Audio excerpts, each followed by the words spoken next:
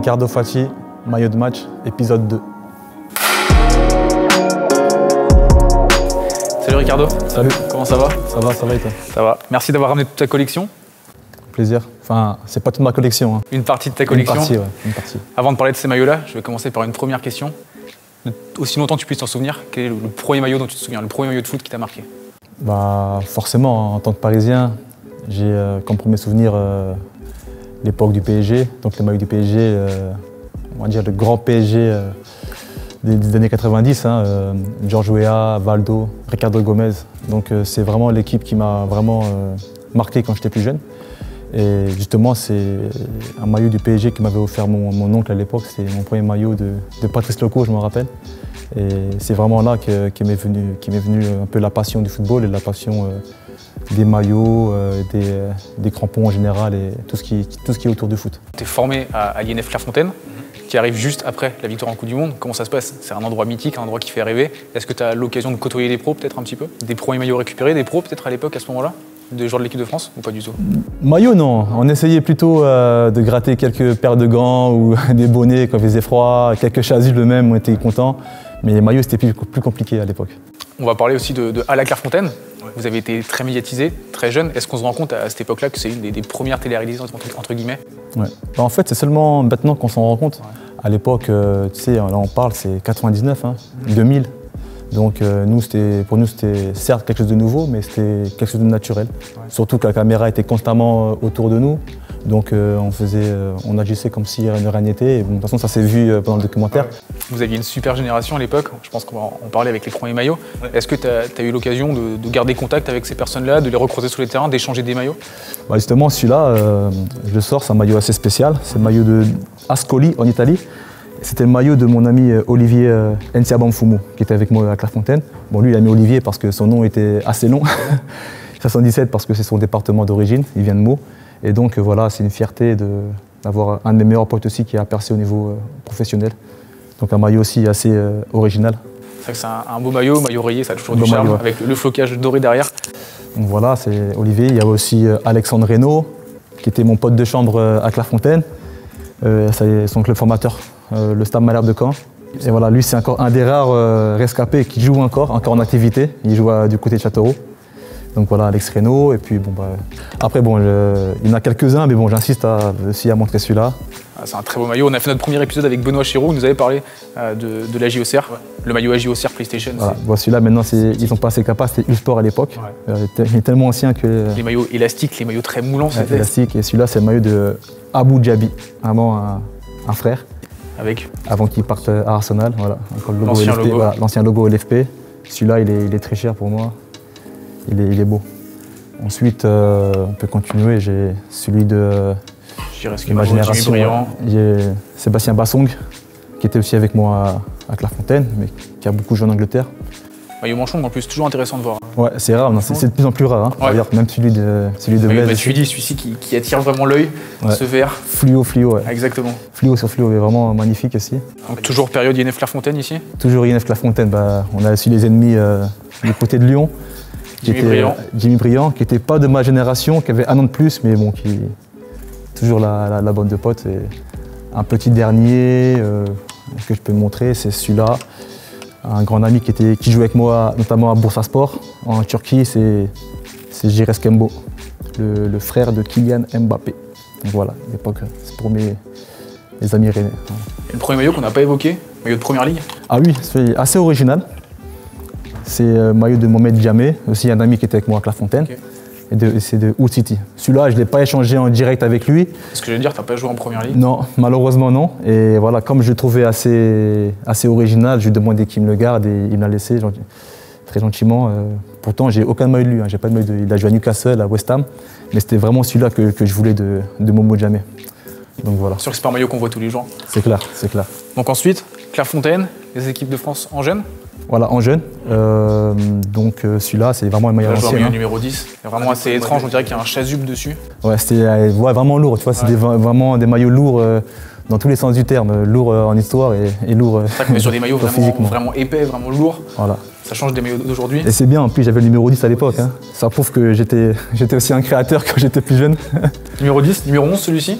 11, ouais, c'est un numéro qu'on m'a donné un peu par défaut. Ouais. Celui-là, il est important parce que c'est mon maillot de, du tournoi de Toulon Qu'on faisait régulièrement en espoir et je l'avais gagné, j'avais fini meilleur joueur. Et donc, euh, c'est un beau souvenir. euh, Meilleur joueur du tournoi de Toulon. voilà. Ouais, beau trophée quand même. Ouais, c'est emblématique. sympa. C'est sympa. ouais. On le voit en plus, l'étoile, qui a pu aujourd'hui sur les maillots des jeunes et les maillots des, espoirs. Mais l'étoile, Le maillot assez obsolète, hein, une étoile. Ouais, une étoile. Voilà. ah, ça fait l'histoire du maillot justement. voilà. Celui-là, c'est mon maillot aussi espoir. Donc, quelques sélections en espoir. quelques sélections espoir là, avec une très belle génération. Génération justement Matuidi, euh, Johan Gourcuff, Younes Kaboul, Hugo Loris qui était aussi avant en espoir avec nous. Redescendu d'un cran, Donc, euh, numéro 4. Voilà, 4 là, ça commençait à descendre. Et voilà, toujours le- l'étoile, la fameuse étoile. Donc, euh, voilà, une belle expérience en, en équipe de France. euh, J'en garde, garde des très beaux souvenirs. Donc là, on quitte Clairefontaine, on quitte l'équipe de France. Premier match en pro, premier début en pro. Tu rejoins le RC Strasbourg. Voilà, Racing Club de Strasbourg. Ton premier maillot peut-être? Premier maillot en pro, exactement, c'est mon tout premier maillot. Moi, j'ai commencé ma carrière professionnelle en, en Coupe de l'UFA. C'était pas Europa League, c'était- c'était Coupe de l'UFA. C'était un match euh, à Bâle, en Suisse. Et donc euh, voilà, c'est. Il était assez grand à l'époque. On voit l'ancien logo du, de Strasbourg, le maillot hyper grand. Voilà, à l'époque. Et on m'avait attribué le, le numéro 25. Euh, à l'époque, euh, j'ai pas trop mon mot à dire, donc euh, on m'a donné 25. Moi, je disais déjà, déjà. Question que j'aime bien poser justement, ça fait quoi de découvrir son premier maillot dans le vestiaire avec son numéro, son nom? Ah, ça fait, franchement, c'est incroyable. hein. En plus, euh, tu sais, j'ai commencé en pro en 2004-2005. 2005. Euh, Il n'y avait pas tout ce qui était réseaux sociaux, tout Ouais. ça, comme, comme aujourd'hui. Donc, euh, vraiment une très, grande, une très grande fierté. Franchement, je suis, même, je suis même ému en revoyant ce maillot. Et voilà, j'étais avec Kevin Gamero à l'époque, Habib Elaïd, qui était avec moi aussi à Clairefontaine. Et son maillot juste derrière, il me Ah, d'ailleurs, son maillot est là. oui. Voilà, juste là. Ça, le premier maillot, c'est un maillot qu'on qu'on se pose pas la question de garder. Ah non, celui-là, On le garde on le garde, il bouge pas, il est Même si on demande de l'échanger à la fin du match, on l'échange pas celui-ci. Non, celui-là, non. Non, non, celui-là, on le garde. Habib Belaïd, Voilà, celui-là, en plus, c'est le maillot de la saison d'avant. C'est l'année où Strasbourg gagne euh, la Coupe de la Ligue en 2000, euh, 2005. Et donc, Habib était déjà, déjà bien installé. il a fait aussi un, un très beau euh, début de carrière. Qu'est-ce que tu gardes comme souvenir toi, de ta première saison en pro, les débuts euh, à Strasbourg? Bah, en fait, euh, paradoxalement, c'était très mitigé. J'étais très content, euh, bien sûr, de, réaliser mon rêve de, jouer chez les professionnels. Après, malheureusement, on, était en difficulté au niveau des championnats. On a fini par descendre. Mais le fait de jouer aussi la, Coupe de l'UEFA, ça a apporté un peu de, saveur à cette saison. Et puis j'ai pu aussi me faire remarquer par la Roma, justement. Et vu que je n'avais pas encore signé professionnel, euh, je me suis engagé euh, à la Roma à l'issue de cette saison-là. J'ai fait quelques matchs, mais j'ai plutôt bien joué. Et la Roma m'a repéré et m'a recruté. On parle du RC Strasbourg, ils sont réputés pour leur ambiance, notamment au stade de la Méno. C'est intimidant de jouer les premières fois devant les supporters, devant autant de supporters? Intimidant, non, c'est galvanisant. Ouais. Surtout qu'à l'époque, il y avait déjà aussi, un- enfin, il y a toujours eu déjà, de toute façon, un, un gros soutien euh, à la Méno. Moi, je me rappelle des matchs de, de Coupe de l'UEFA contre l'Étoile Rouge de Belgrade ou euh, des matchs même des championnats. hein, et C'était incroyable, c'était des très belles ambiances. et- Un maillot assez lourd, encore une fois, juste après. Mais très très lourd. ouais. Donc maillot de gardien, baliston, de l'estac. De On l'Estac. voit, les, Alors, on voit les renforts au niveau des coudes, ça se fait plus du tout maintenant. ah ouais, c'est vraiment un à maillot l'ancienne. obsolète, à le logo encore une fois. Bah, celui-là, c'est mon ami Quentin Westberg, pareil, qui était avec moi à, à l'INF Clairefontaine. Et ce maillot-là, c'est mon tout premier maillot que j'ai changé en fait. C'était à 3, c'était un de mes premiers, mon premier banc euh, en professionnel, 2004 ou 2005, je ne sais plus. Et on avait changé avec Quentin, qui, était, bah, qui est toujours un bon ami, qui joue encore euh, en MLS à, à Toronto. Et donc du coup, voilà, ça c'est le premier maillot de ma collection. Et en plus, un, un très bon ami à moi, Quentin Westberg, un mode gardien, le, le seul de ma collection. Et voilà, un maillot très très lourd. Vraiment très beau maillot, très lourd, et qui a une vraie histoire, c'est ça Ah ouais, c'est magnifique. En plus, voilà, deux potes de Clairefontaine voilà, euh, qui changent le maillot, c'est lourd de sens. On avance et on arrive à l'AS Roma. Donc, tu Ouais. disais avant que tu avais un petit côté fan de l'AS Roma quand même. Voilà, justement, j'avais justement plusieurs propositions à l'époque. J'étais, euh, J'avais des clubs euh, en, en Angleterre, tout ça, mais quand la Roma m'a- m'a sollicité, j'ai vraiment pas hésité. J'avais envie de découvrir ce club et ce, euh, et ce championnat, ce pays, cette culture. Et donc voilà, c'est une grande fierté d'avoir porté ces couleurs.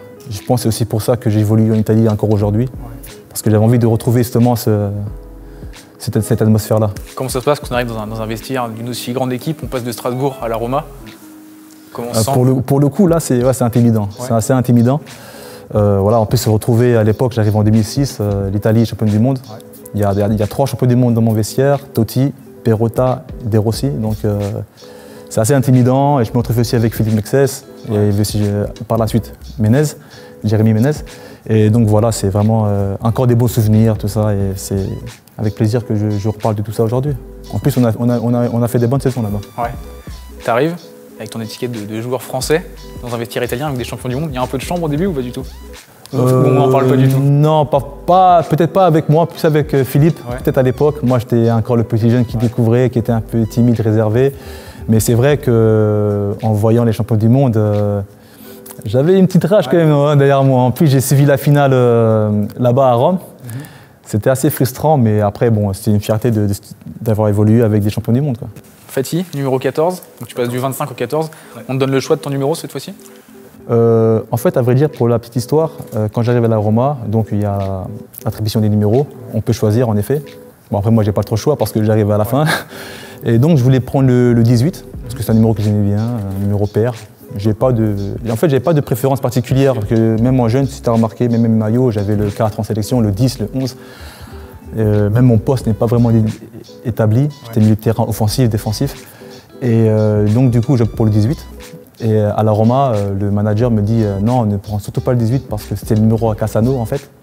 Donc Cassano, on le connaît, en plus, vous n'êtes pas le même type de joueur. On va faire le parallèle directement avec toi. Donc, euh, tiens, justement, euh, je te conseille le 14 parce que Vieira vient de signer à l'Inter et il a pris le 14. Donc, euh, tu remplis- en plus, Vieira, c'est euh, une idole. hein. Juste ici, on a Et les, donc, les maillots de, de virage, je te laisse le prendre. Le maillot, il, il est là, de Patrick Vieira. Deux fois. Voilà. des Alors, maillots échangés Échangés, ouais. à la fin des matchs. Celui-là, j'avais joué euh, titulaire. Celui-là, j'étais sur le banc. Je n'étais pas entré en jeu. J'avais changé avec lui. Mais celui-là, j'avais joué à San Siro. C'était c'était une belle atmosphère aussi. Et voilà, c'est Vieira, c'est la référence. hein. C'est la référence. En plus, c'est un Cap-Verdien comme moi. On a un petit lien de parenté. Est-ce qu'il paraît, d'après ma mère Mais voilà, c'est un, un super mec, un, un super homme. Et je suis fier d'avoir eu, avoir eu ces maillots avec le tricolore. Exactement. C'était... Jouer contre des joueurs comme ça, des joueurs, ils avaient tout gagné, tu vois. Ils avaient gagné et la coupe et le- et le championnat. jouer contre des joueurs comme ça dont on est fan. Là, peut-être pour le coup, c'est aussi intimidant d'arriver face à eux, de les regarder, et de se retrouver face à eux sur le terrain, de se dire qu'on a la chance de se mesurer à ces, joueurs-là. Ouais, ça dépend, ça dépend des joueurs et des, et des matchs. Vieira, c'était pas intimidant, j'avais vraiment envie de lui montrer qu'il y avait du répondant. Après, il y avait, ouais, c'est vrai qu'il y a d'autres joueurs euh, que tu regardes plus. Par exemple, j'avais joué en Ligue des Champions euh, contre l'Olympiakos et j'étais en face de Rivaldo. Et voilà, Rivaldo, le Brésilien, tout ça. Et justement, en plus, l'élégance, en le voyant, c'est vrai que j'étais un peu intimidé par, euh, par lui. Et après, par d'autres, non, c'est plus envie de, justement de montrer que- qu'on peut faire du jeu égal à égal. Un petit détail sur ce maillot que je trouve assez incroyable, la manche coupée au ciseau. Donc là, c'est un détail qui parlera à tous les collectionneurs. Voilà, c'est des maillots qui sont vraiment incroyables, c'est ça. Ah ouais, c'est des maillots vraiment personnalisés. En plus, à l'é- à l'époque, c'est pas comme si qu'on pouvait commander aller à- au préalable. Ouais, je veux des maillots plus courts, des maillots plus stretch, des maillots taille L, M. Là, c'était des maillots qu'on te, balançait et puis après, tu, tu te customisais. Quoi. Des fois, tu voyais des fois, j'ai des maillots avec des, stra- des traces, des traces de strap Strap. pour un peu resserrer justement Ouais. les manches. C'est ça que j'aime dans, dans les maillots en fait. C'est pour ça moi j'ai pas beaucoup de maillots récents, mais c'est vraiment les maillots un peu pas à l'ancienne parce que c'est pas des maillots très anciens non plus, mais des maillots assez lourds de sens. C'est ça qui m'intéresse dans les maillots en fait. Donc on est à la Roma, on pense forc- forcément à Totti. Ah oui. On voit effet. maillot juste ici.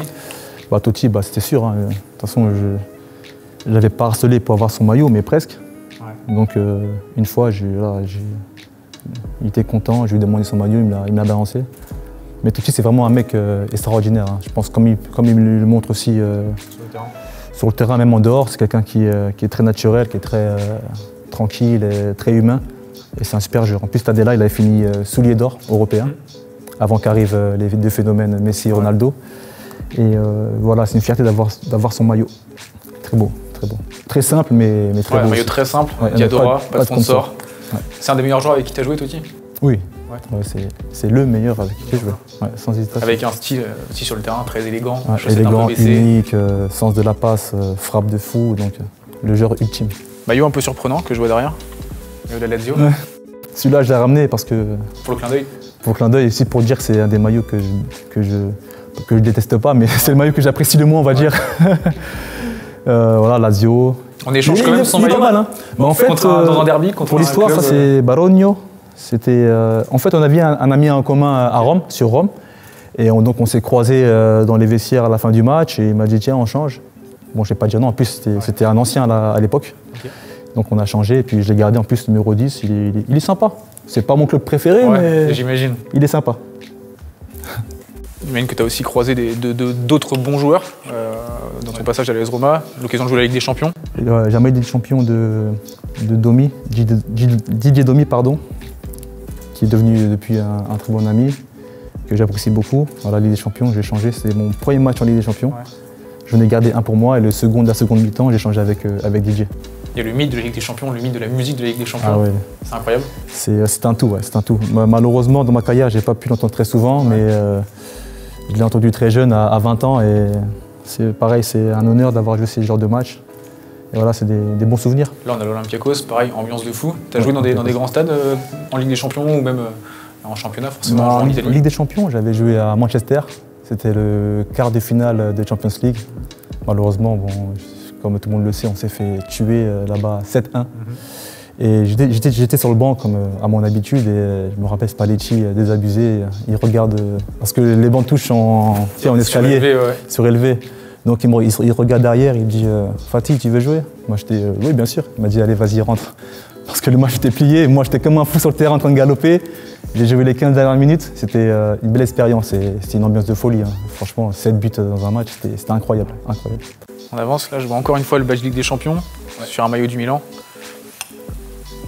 Maldini. Ouais, celui-là, on, on peut dire que c'est le maillot le plus prestigieux que, que j'ai dans ma collection.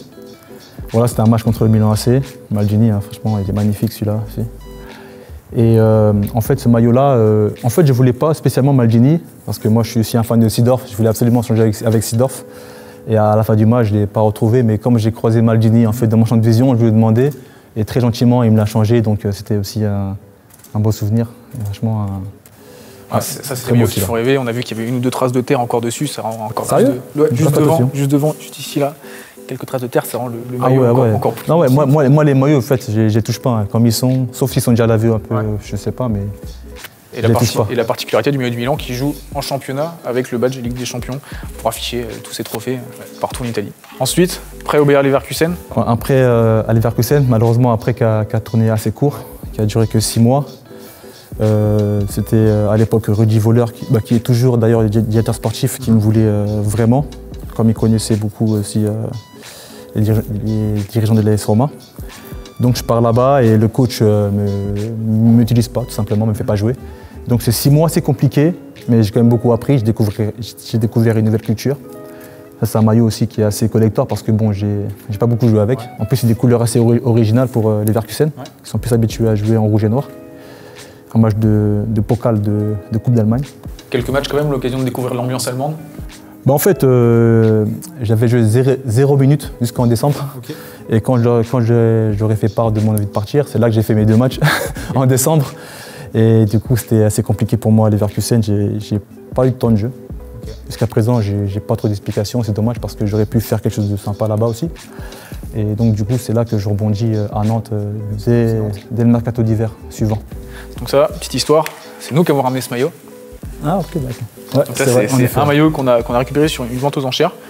Quelque chose que tu fais souvent pour Ouais. distribuer des maillots. En effet, justement, bah, ces maillots, c'est pas non plus fait pour rester euh, T'es assis au fond d'un placard. voilà, au fond d'une cale, tout ça.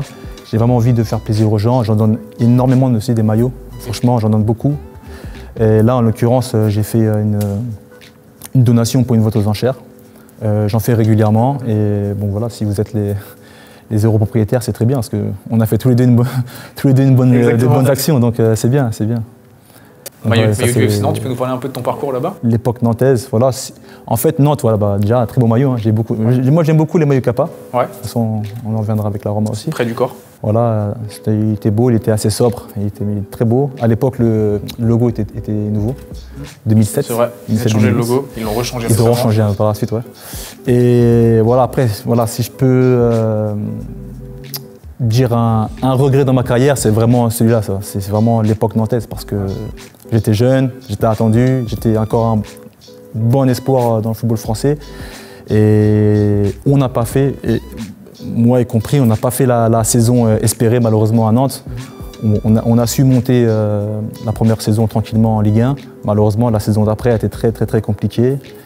Et euh, on est redescendu et du coup moi comme j'étais prêté, je suis reparti à la Roma. C'est dommage parce que je pense que c'est un des tournants de ma carrière en fait. Je pense que j'aurais j'aurais sûrement eu une carrière différente si j'avais fait une grosse saison lors de cette saison-là.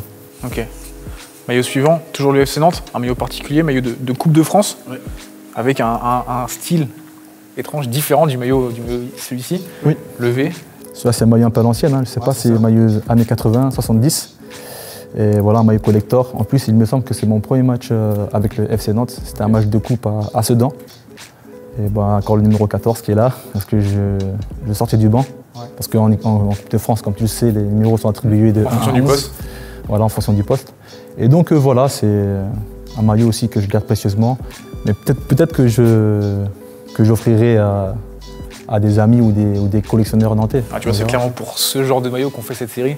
Des maillots qui sont iconiques, des maillots qui sont emblématiques, des maillots qui ont, une vraie histoire. On avance donc à Nantes. Tu arrives euh, au milieu des années 2000, 2008, il me semble. Ouais. Paris Saint-Germain, ton club de cœur. Voilà. J'ai plusieurs maillots. Là, on a un maillot que je trouve vraiment magnifique, celui-ci. Ouais, celui-là, il est très, très, très original. Des couleurs inhabituelles du PSG. Hein. Ça fait assez aristocrate, tu sais, avec les, mhm. monogrammes, on dirait un peu Louis Vuitton, tu sais. Moi, ce que j'aime, c'est surtout le nom derrière ce, maillot. Ouais, celui-là, c'est bah, Amara hein. Je pense que tous les fans du PSG le, maintenant le connaissent. Notre, enfin notre, moi j'ai une autre parce que je me sens parisien, mais le sauveur euh, du PSG, quoi. Hein. On le sait tous. Bon, ceux, qui n'ont pas la référence, euh, je peux rien pour eux, mais euh, Amara en plus, c'était mon coéquipier à Strasbourg. Un très bon gars. Et voilà. Celui-là, il n'est pas changé. Justement, je lui avais dit de me, de me le garder au chaud parce que c'était un maillot que j'apprécie beaucoup, un maillot encore original. Parce qu'à l'époque, j'étais déjà à la Roma, donc j'avais dit qu'il me, le, me le garde précieusement et il me l'a ramené gentiment. Et celui-ci, maillot de Chantôme, ah, maillot avec la bande Echter, qui est de retour cette année sur, le maillot du Paris Saint-Germain, maillot des 50 ans. Tu penses quoi du maillot de cette année d'ailleurs? Ouais, il est beau, il est beau. Voilà, quand on revient dans les traditions, euh, je préfère, c'est mieux. Mais là, ceux-là, ils sont, ils sont beaucoup plus sombres. J'aime beaucoup plus à l'ancienne. Avec le petit motif euh, en rouge sur la ce maillot, Je sais pas, ce maillot, il fait, beaucoup penser à, Paoletta, tu vois. Ouais. Mais bon, c'est pas Paoletta, c'est Loris Arnaud, c'était un bon ami. Lui, né en 87, et donc on a changé aussi, on avait joué l'un contre l'autre. Je m'arrangeais toujours pour avoir les maillots de, du PSG. PSG je dis encore une fois que tu échanges les maillots avec tes amis. C'est quelque chose que, quasiment tous les joueurs qu'on rencontre nous disent. C'est rarement, voire même jamais la course au, gros maillot dans un club. Euh, franchement, non. C'est, En tout cas, de c'est très rare. En tout cas, je vais pas non plus faire le fou pour récupérer le maillot, par exemple. Mais non, c'est essentiellement des maillots que je change avec des amis. Euh, vois, des fois, on ne se pose même pas la question, c'est naturel, tout ça. Donc, euh, moi, c'est ça que je recherchais.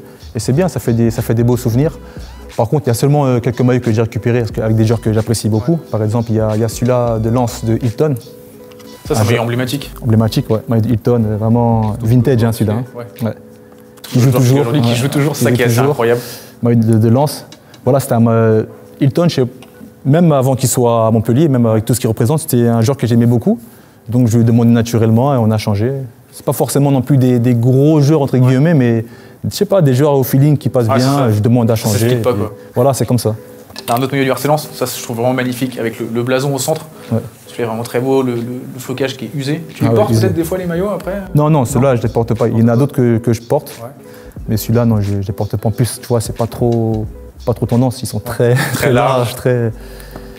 Avec Keita. Ouais, bah, pour un des meilleurs joueurs africains pour moi. Hein. Super joueur, qui a joué à Barcelone, qui a joué aussi à la Roma. Donc voilà, Seydou Keita, super joueur pareil, quand j'ai quand eu la possibilité, je lui ai demandé gentiment et on a changé. Encore mieux du FC Nantes? Oui. Jean-Jacques Pierre Jacques Pierre, ça c'est un ami, ouais. Ça c'est l'époque 2007-2008, euh, quand, on est en Ligue 2. Celui-là, je lui ai demandé parce que c'était un, bon ami, Jean-Jacques. Donc, euh, les maillots Ernest, un, peu, un peu mythique en plus. C'était l'époque Ernest, il y avait beaucoup de maillots Ernest. C'était vraiment la, tendance Ernest à cette époque-là, avec Auxerre, avec nous, tout ça. Euh, Toulouse aussi voilà, bah, justement, il y a l'ancien logo. L'ancien logo. Et voilà, c'est un maillot que j'aime bien aussi, c'est des beaux souvenirs, la montée en, Ligue 1 en, 2008. Et donc après, retour à la Roma Voilà, donc après Nantes, euh, c'est mon retour à la Roma. Donc là, tu récupères le numéro 14, il est libre, tu as la chance d'arriver et qu'il soit libre Ouais, ouais, il est, toujours, il resté libre, comme s'il m'attendait. Donc, ouais, euh, pareil, comme Cassano, le directeur sportif, a dit non, non, on prend pas le 14. Non, non, garde le 14. donc là, justement, tu parlais de Kappa tout à l'heure, maillot Kappa, le maillot que t'aimes bien Qu'est-ce que tu aimes bien sur, sur ces maillots-là justement? Bah, Justement, ils sont euh, assez stretch, ils sont près du corps, ils sont pas forcément super lourds, ils sont pas lourds du tout même. Mhm.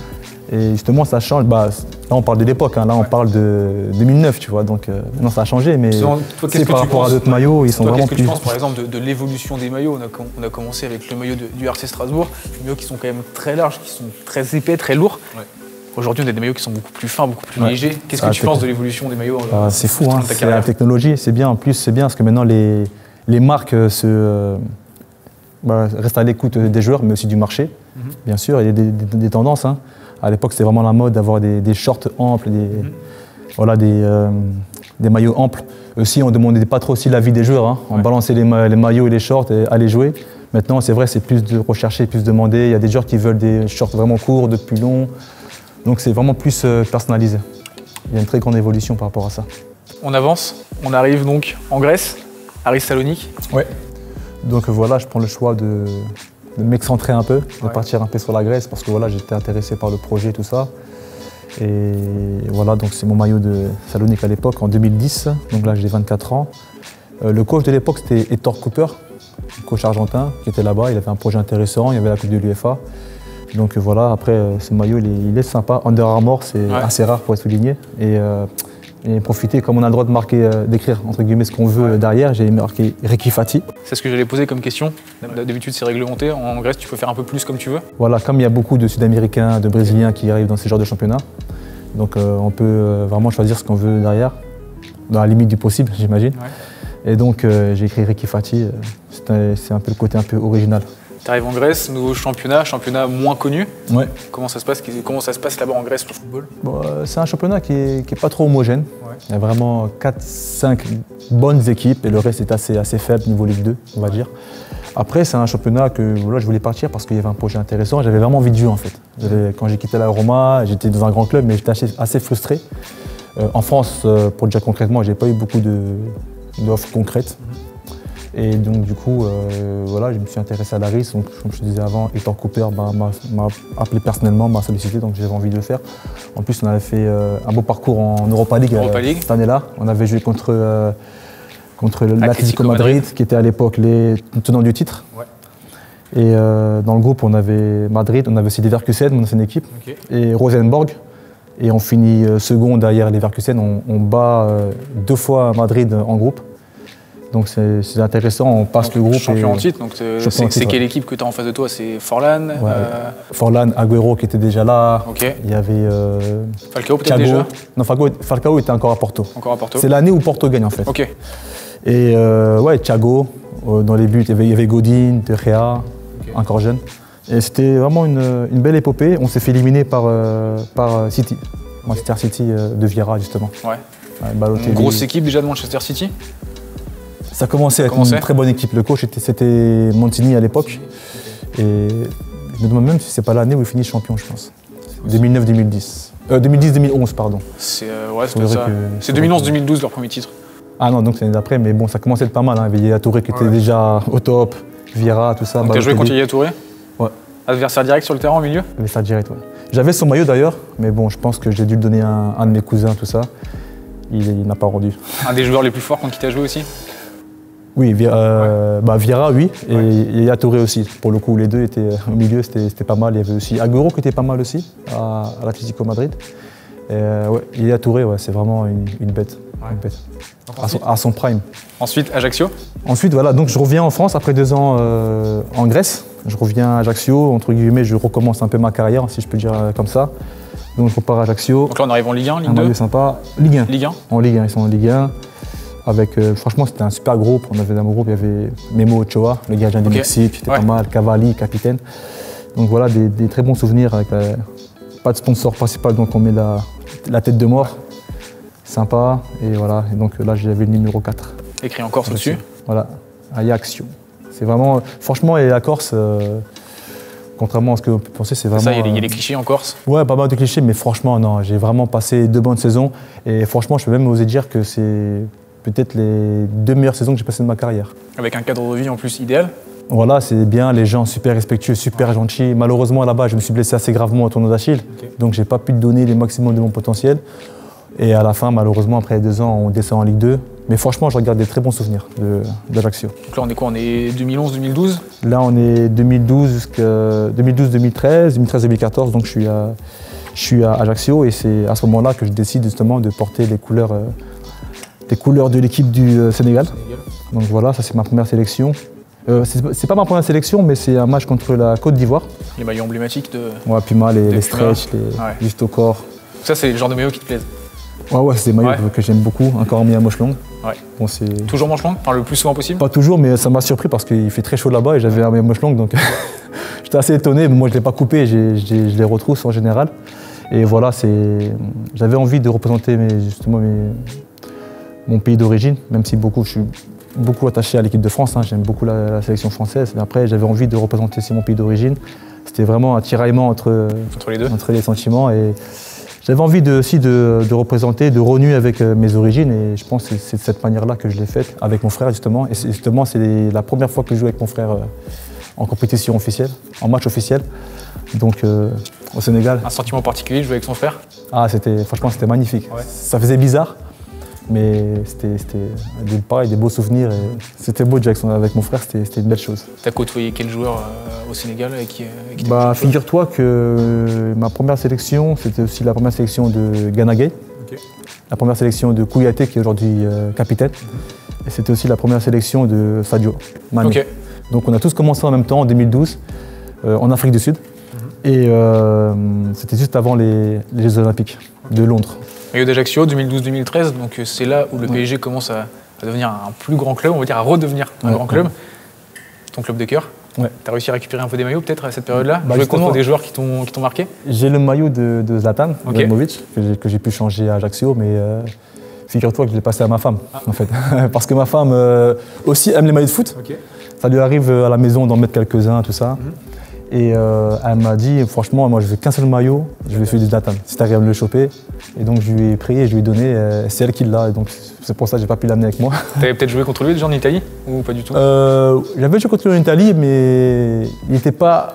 déjà- il C'était était pas le Zlatan C'était déjà un grand joueur, mais c'était pas vraiment Ouais. l'icône. Il y avait en plus il y avait Vieira, il y avait aussi Adriano qui, était à- qui était aussi à l'Inter, donc c'est quand même quelque chose. Et non, le fait ouais, de les avoir joués, euh, c'était un bon souvenir. Et d'ailleurs, j'ai aussi le maillot de, bah, de Blaise, du PSG aussi, que j'ai laissé à la maison. Donc, on, avance, on avance. arrive en Belgique, Belgique, voilà. standard de Liège. Standard de Liège, ouais. un maillot assez sympa, là, tout, tout, tout, tout rouge. Les rouges, comme ils disent là-bas, les rouges. Ouais. Et euh, maillot Kappa, pas mal. Et ouais, standard, donc c'est un choix qui a, qui a surpris plus d'un.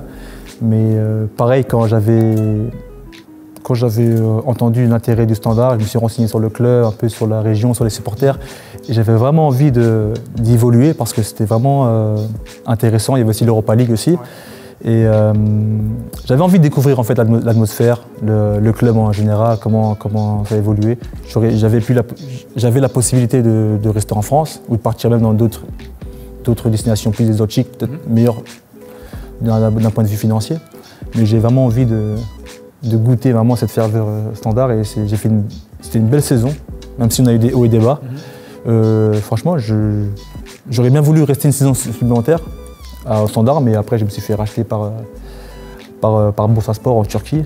Mais des, beaux souvenirs. Franchement, j'ai beaucoup apprécié le, passage en Belgique. Qu'on parle de culture, on parle de, voyager un petit peu. C'est ce que te disais en, avant, ce tournage. Podolski qui disait il y a des joueurs qui préfèrent rester 20 ans dans le même club et garnir leur armoire à trophées. Lui, ce qu'il avait envie de faire, c'était de voyager, de découvrir de nouvelles cultures. C'est ça aussi qui t'a donné envie de, de bouger euh, changer de club assez régulièrement Sincèrement, oui. Euh, c'est vrai qu'en en étant à la Roma, j'avais envie de, de me poser là-bas, de faire quelque chose de grand à la Roma. Et dès que j'ai commencé à partir, dès que j'ai commencé à atterrir en Grèce, puis après en Belgique, j'avais vraiment envie de découvrir des choses. Il y a aussi mon frère qui, euh, qui a joué en Australie, qui a joué en, en Chine. Et c'est un peu, on va dire, le, la voie qu'on a suivie. Quoi. Et c'est enrichissant. Moi, je suis fier de revoir tous ces maillots euh, que j'ai pu échanger, que j'ai pu, euh, que j'ai pu voir, des, des stats que j'ai pu aussi connaître.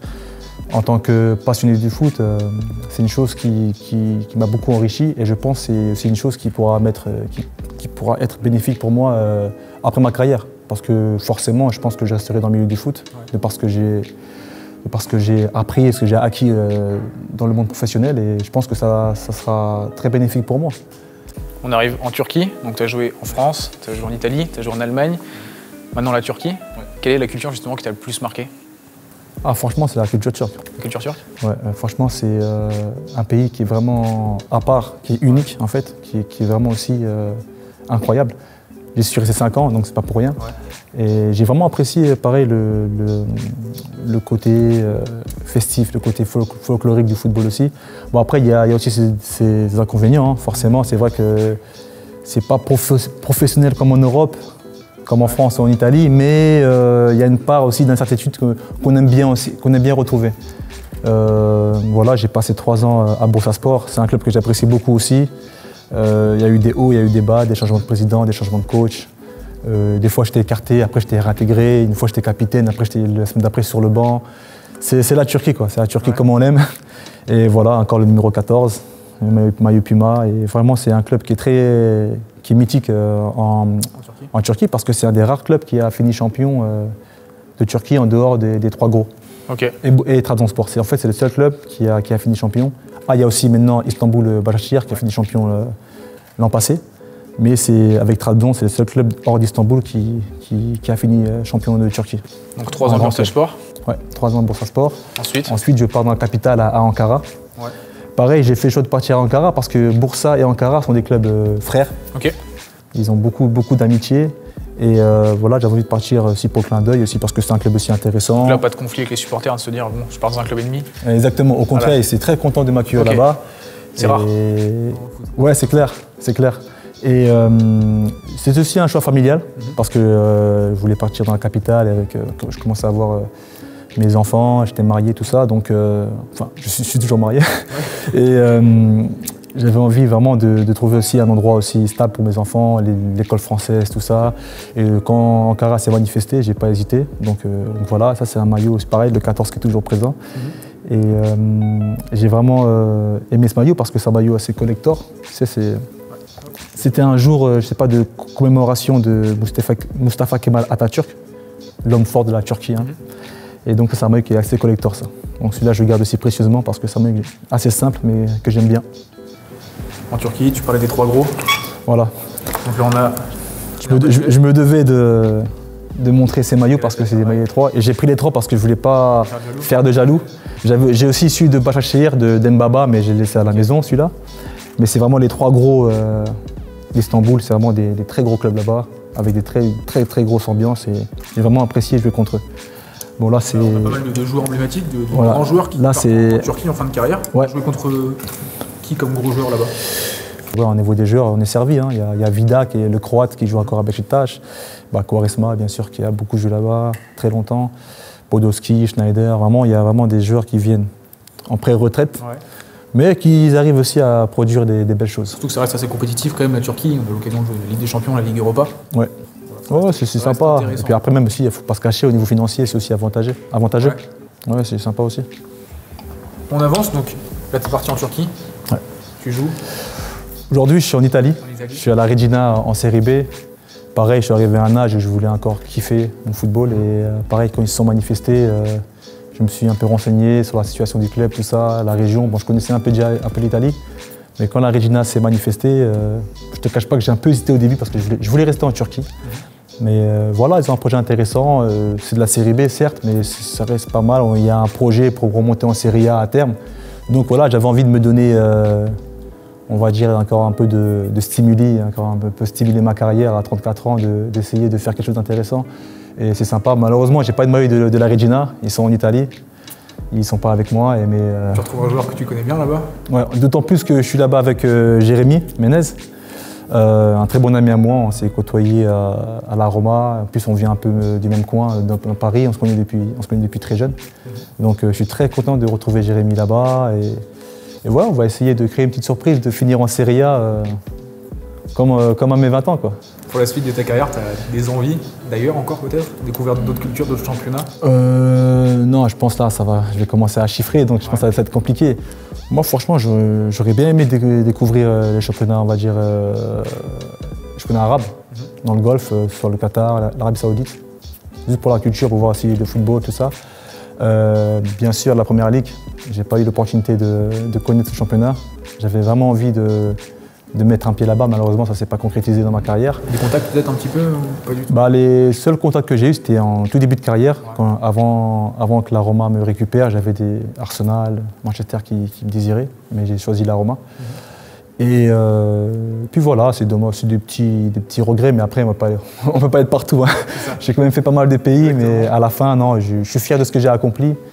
Et j'espère surtout bien finir avec la Regina. Puis après, qui sait, peut-être je finirai euh, en France tranquillement pour, pour euh, la reconversion, un truc comme ça. On, on verra par la suite. Justement, pour la suite de ta carrière, tu as lancé une association. Ouais, donc voilà, bon, là, c'est pas un maillot, c'est voilà, c'est le survêtement de mon association, enfin de notre association qu'on a montée avec mes, mes potes de, de l'INEF Clairefontaine, qui s'appelle donc euh, Génération 86. C'est une association qu'on a, qu'on a montée entre nous. euh, voilà, c'est euh, pour, pour euh, venir euh, à la rencontre des, des jeunes footballeurs et des footballeurs amateurs. D'ailleurs, j'en profite pour remercier la marque Clipstar parce que c'est eux qui nous sponsorisent et qui nous accompagnent dans, dans nos actions. Donc voilà, c'est une marque aussi qui nous ressemble. On n'avait pas envie euh, forcément d'aller voir plus gros parce que ce n'était pas non plus le but, mais être avec Clipstar, c'est aussi, c'est aussi euh, une, une, une preuve que- qu'on veut rester proche aussi un peu de la base amateur et des jeunes. Et donc voilà, on fait des actions, on, on se rend sur, des, sur différents, différents clubs, différentes villes. Et on a déjà fait une dans l'Oise. Et on en refera une bientôt euh, en Ile-de-France. Donc malheureusement, le, le Covid, fait, la pandémie fait qu'on ne peut pas trop, euh, trop euh, bouger, mais on a des, bons, des, des beaux projets à venir pour, euh, pour les jeunes et pour les clubs amateurs.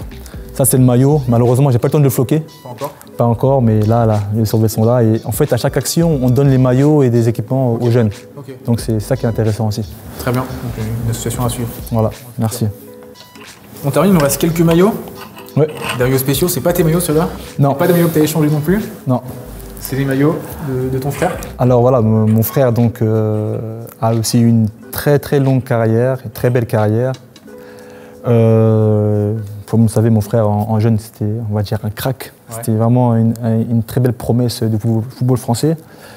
Et donc voilà, et lui, là, il n'est pas autant passionné que moi dans le foot. Moi, je suis vraiment un fada de foot, un fou. Lui, il jouait vraiment pour, euh, pour le plaisir, tout ça, mais pas par passion en fait. Et donc euh, à chaque fois qu'il jouait un match, je disais regarde-moi celui-là, ou ah tu vois jouer contre tel ou tel club, prends-moi ce maillot-là si tu peux. ouais.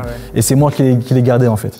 Et on donc maillot, euh, on a un maillot assez original. ouais. On parlait des maillots larges tout à l'heure, on a un maillot qui, qui est hyper large. ouais. Celui-là c'est son premier maillot en pro, 2002 ou 2003, je ne sais plus. Il avait 18-19 ans, donc euh, maillot de Rennes, Fatih, donc voilà son premier numéro 21. Un maillot qui plaira au breton, hein, avec Ouais. drapeau. Ouais, l'Hermine. Donc voilà, c'est sympa. Et euh, après, il y a ces maillots de l'équipe de France. Celui-là, j'ai tenu à le ramener parce qu'il est assez euh, spécial. Ça, c'est un maillot de l'équipe de France de jeunes. Celui-là, c'est son- premier maillot en fait en équipe de France de jeunes. Équipe de France des 15 ans ou 16 ans, en 99.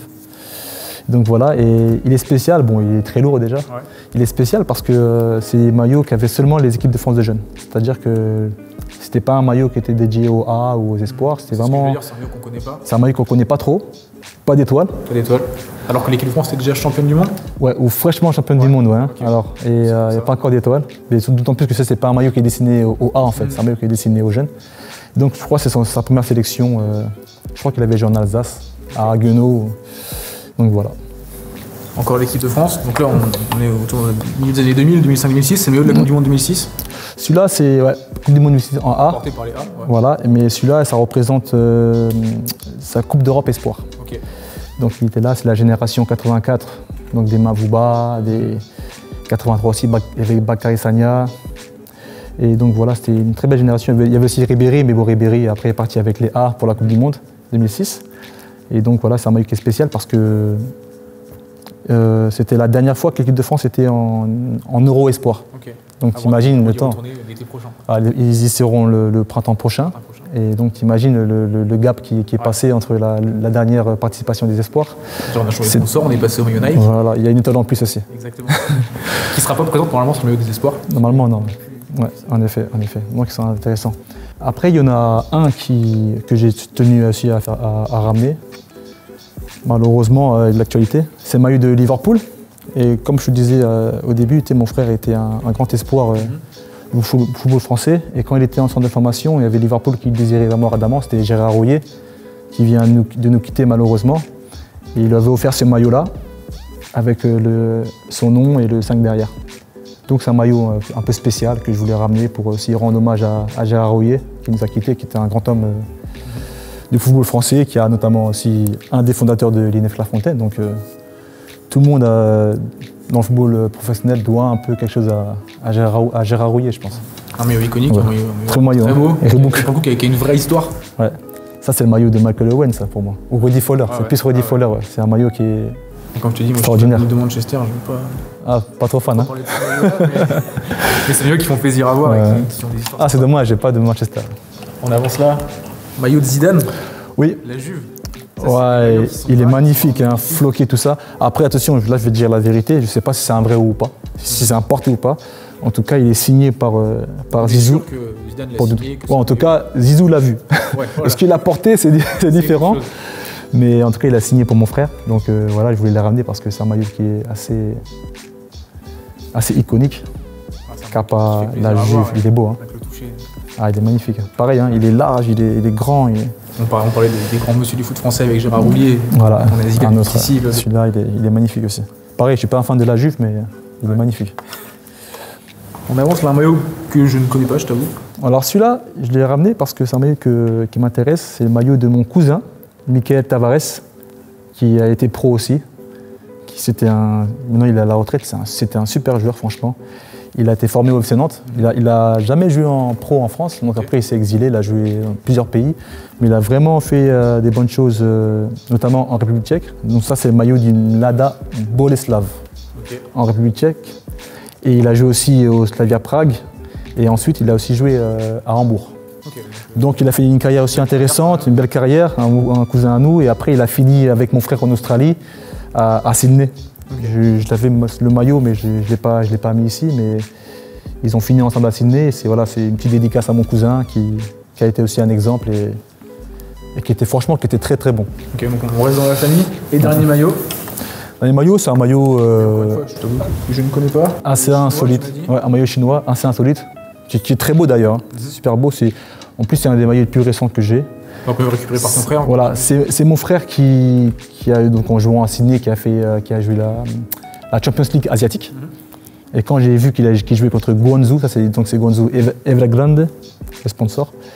Et je lui ai demandé qu'il me, le- qu'il me le garde, qu'il me le ramène et il est là. Alors on vient d'arriver au dernier maillot. On a fini avec le maillot de Guangzhou. Je vais te poser une dernière question. Je vais te laisser choisir deux maillots, si tu veux en choisir que deux. Un maillot porté par toi et un maillot échangé, un maillot que tu as récupéré au cours de ta carrière. Donc je te laisse choisir. Un maillot porté par moi. Donc euh, je pense que forcément, hein, je vais te sortir celui de la Roma, hein, parce que c'est mon club, euh, un club que je suis porté depuis tout petit. Euh, je vais te prendre pas le, pas le Diadora, je vais prendre celui-là. Je prends celui-là, le Kappa, le 14. Ok. En plus, c'est une belle saison. Finale de Coupe d'Italie, seconde place. On a, on a vraiment effleuré le, le Scudetto cette année-là. L'Inter nous a raflé le titre à la dernière journée. Et donc voilà, celui-là, c'est le maillot que, porté que je garderai. L'année du triplé de l'Inter? Exactement, 2010, ouais. quand L'Inter a, a tout raflé.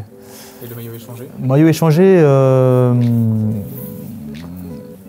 franchement, j'aurais, bien aimé te dire celui d'Amara, mais euh, mais euh, comme je ne l'ai pas échangé, ça, ça compte pas, non? Ça compte pas. Ça compte pas. Bon, celui-là, on va le garder ici. Bah écoute, allez, je te dirais, euh, je te dirais Vira pour, pour la symbolique, parce que c'est même numéro, euh, grand joueur, qui a fait du bien au football français, et un mec que j'aime beaucoup, en plus un maillot aussi original, découpé et tout ça. Tout à l'heure, découpé à la main, personne. Donc voilà, deux maillots italiens. J'aurais pu choisir un autre, mais bon, je pense que c'est les deux. Bien, on finit avec une belle image, le 14 de Fetty. Voilà, exactement. De Vira. Malheureusement, le, le joueur que j'aurais aimé être, mais ça n'a pas marché. Mais bon, c'est vraiment. On va pas dire quand on regarde tous les maillots, quand on regarde toute ta carrière, il y a quand même beaucoup de gens Ouais, qui voilà. aimé avoir une carrière. C'est clair. Moi, le premier. Beaucoup, beaucoup, de fierté de ce que j'ai accompli, et voilà, d'avoir côtoyé ces genres de joueurs. Et voilà, c'est aussi une manière aussi de, les remercier déjà, d'avoir changé les maillots avec moi. Et aussi voilà, de, leur rendre hommage, que ce soit des, des Maldini, des Totti, des Diané, des, des Diamé. Et donc voilà, c'est avec grand plaisir. Voilà Ricardo, on arrive déjà à la fin de cette vidéo. Merci de nous avoir présenté toute ta collection, du moins une partie de ta collection. Moi clairement j'ai passé un super moment, plein d'histoires, plein d'anecdotes, c'est toujours super intéressant. J'espère que ça a été pour, pour toi aussi. Oui, bien sûr, bien sûr. Ça fait plaisir de revoir euh, tous ces maillots et de faire un bond euh, plus de 10 ans en arrière, ça fait plaisir. Merci pour l'invitation aussi. encore une fois, merci à toi et surtout merci à vous d'avoir regardé cette vidéo. J'espère que vous avez passé un très bon moment et comme d'habitude, je vous laisse réagir dans les commentaires, me dire ce que vous en avez pensé, mettre un petit pouce bleu, vous abonner si ce n'est pas déjà fait. On se retrouve la semaine prochaine pour une prochaine vidéo. Salut